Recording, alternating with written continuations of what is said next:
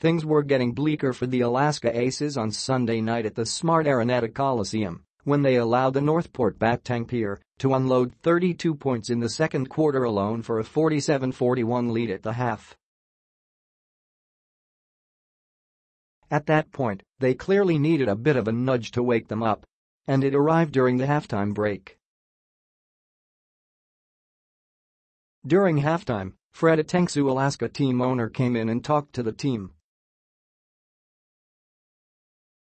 It was short, it was powerful, recalled Aces head coach Alex Compton. I'm grateful that our owner is such a great communicator. He came in and about one and a half minutes, laid down the message that I think changed the game for us. That did change the way Alaska played in the second half, especially in the final frame.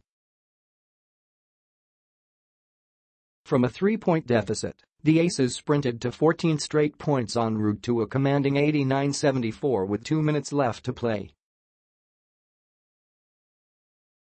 Alaska won, 95-85, to seal a twice-to-beat advantage for the 2018 PBA Governors Cup quarterfinals. The guys responded, lauded Compton. Asked what in particular Uytengsu told the Aces in the locker room, the veteran bench strategist decided not to delve deeper and instead relate its context, which was all about working hard to get what they want.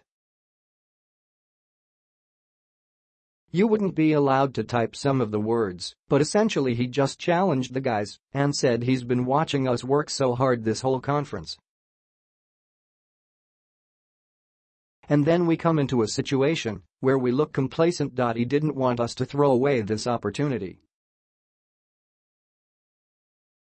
That is the rated G version, Compton added. Uytengsu was then reached and asked, what exactly did he tell the Aces, and accurate to what Compton said, he simply emphasized hard work. They worked very hard to get to a position they're in right now, and it would be a shame to lose that opportunity with the twice to beat if we didn't play the type of game that we're known for, Uytengsu said.